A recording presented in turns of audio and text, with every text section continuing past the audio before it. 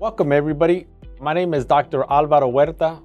I'm a Religion and Public Life Organizing Fellow at the Harvard Divinity School. I'm also an Associate Professor of Urban and Regional Planning and Ethnic and Women's Studies at Cal Poly Pomona.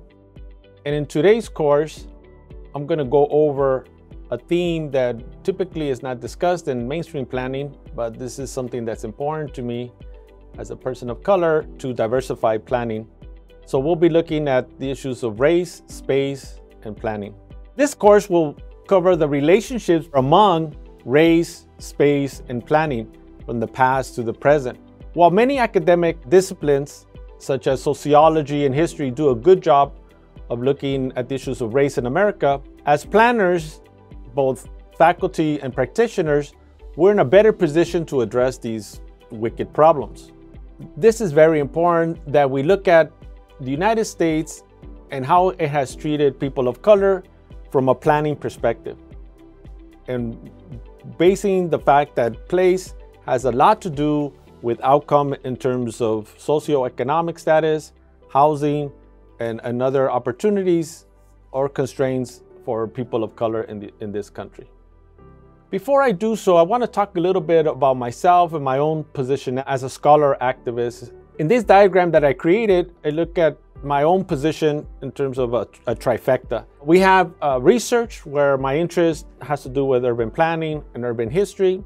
And the second one is organizing, where I look at organizing as the dialectics between theory and practice.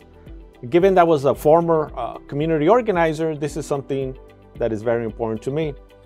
I'm also a big follower of Paul Davidoff, someone that advocated for advocacy planning uh, and this has to do also with organizing, where we cannot see planning as a neutral field. Davidoff saw planning as a way for planners to advocate for those that are less fortunate.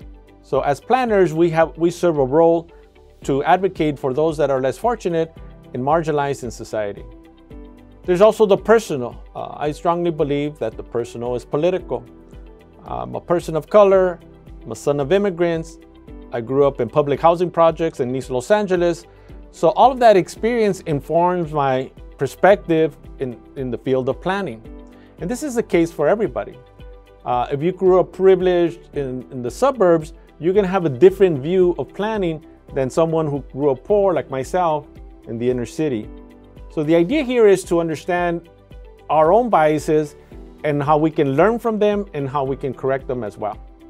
In this next chapter, I'll be talking about the European colonization of the Americas and the inhumane consequences when it comes to African Americans, uh, indigenous peoples, and others.